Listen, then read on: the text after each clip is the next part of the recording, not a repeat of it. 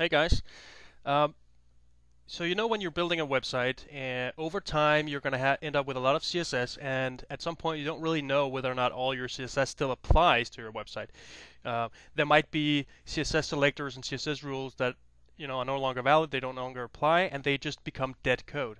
It can be really difficult to identify dead CSS code. So let's take a look at how Visual Studio 2013 and um, Web Essentials can help us with that. So here I have Firefox on the right and Visual Studio on the left. And we can see here that we have um, Firefox is connected through browser link. So all I need to do is to go in this menu and say start recording. As soon as I do that, we can see that uh, Web Essentials automatically fill up my error list with unused CSS. So this is unused CSS on this particular page.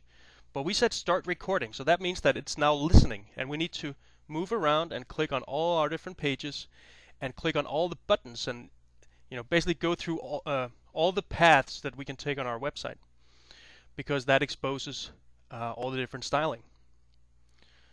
And here we go. These are this is everything on my website that I could possibly click. So I'm just going to say stop recording. And you can see here we end up with a single um, error. So let's just click that and it opens up here in the CSS editor. And we get a nice error here saying no usage of this CSS selector.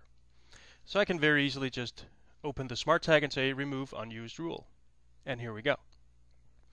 So this makes it really easy to find dead CSS rules or selectors. Um, if we want to figure out what about the individual properties of the individual CSS rules, then how can we go about that? Let's just go to Firefox here and show the uh, developer tools.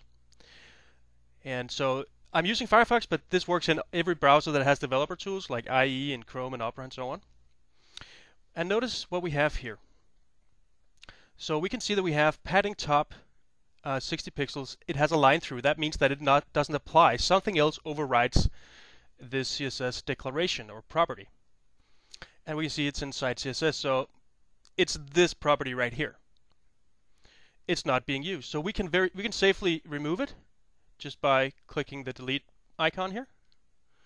And because I have CSS autosync um, turned on, we see here that how the F, uh, developer tools in Firefox automatically just changes um, my CSS file here through the power of Visual Studio 2013 Browser Link and Web Essentials.